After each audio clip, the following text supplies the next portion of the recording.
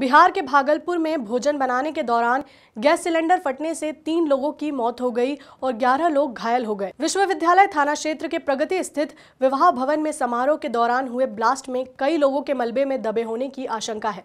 हादसे के बाद पूरे इलाके में अफरा तफरी मच गई। मौके पर पहुँचे पुलिस अधिकारियों ने राहत और बचाव कार्य शुरू किया